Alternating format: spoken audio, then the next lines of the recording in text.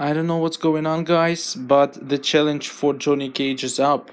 And what's the most amazing and that it says that it will last 12 days and 23 hours. This is just crazy. There is no update on Android yet and they already launched the challenge. This is so not fair.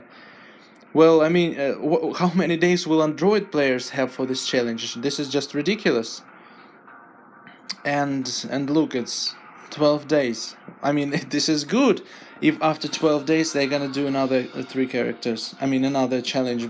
But I think that something else is going on. So let's see what we need for this challenge. We'll need uh, only martial artists and Kenshi.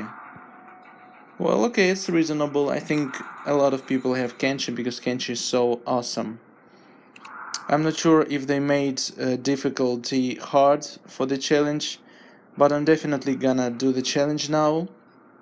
I have uh, I have a good possessed Kenshi I think on my Android account.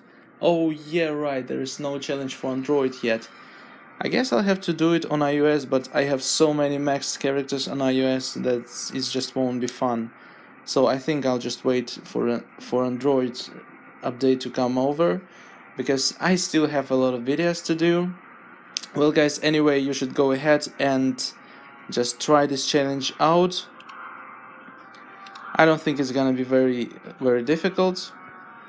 And let me know guys if there is a super hard difficulty. Maybe they just added this third uh, third set of towers for super hard. Okay guys good luck with your challenge and I'll see you in the next video